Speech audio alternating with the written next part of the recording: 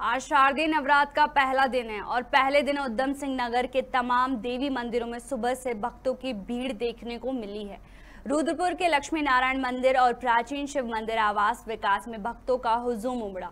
लोगों ने पूरी श्रद्धा भक्ति के साथ देवी की आराधना की। आपको बता दें कि नवरात्रि के नौ दिनों में देवी के नौ अलग अलग रूपों की आराधना की जाती है। वहीं आज पहले दिन शैलपुत्री देवी की आराधना की गई।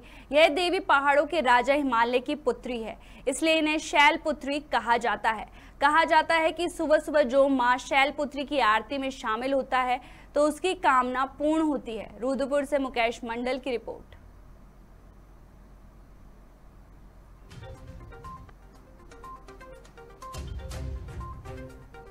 माँ ज्वाला जी के पुत्र ज्योति हम लोग दुर्गा मंदिर से लेकर के आए हैं और इसको माँ अम्बे के दरबार में विराजमान किया है।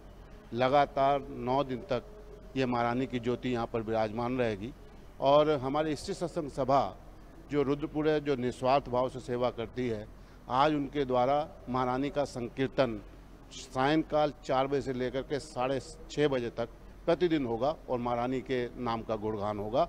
और इस बीच में जो भी भक्तगण यहाँ पर आएँगे, उनके लिए हमारे यहाँ के सेवादार, हमारे युवा मंच, हमारे महावीर दल, हमारे सनातन धर्म सभा के पदाधिकारी, हमारा यहाँ का सारा स्टाफ तन से, मन से, धन से उनकी सेवा करता रहे। माता रानी को आज पहला दिन है शरद नवरात्रि का। शैलपुत्री का माता का नाम है आज का तो पहले दिन का माता होती, शैलपुत्री होती है।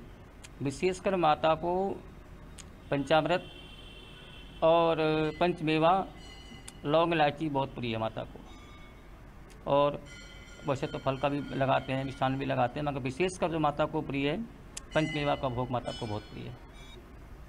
पहले दिन शैलपुत्री, द्वितीयम ब्रह्मचारिणी, दूसरे दिन तृतीयम चंद्रघंटा कुष्मांडा पंचम स्कंद माते थी, अष्टम कात्यायनिचा सप्तमम महागौरी चाष्टमम आठवीं जो माता होती, गौरी माता होती है।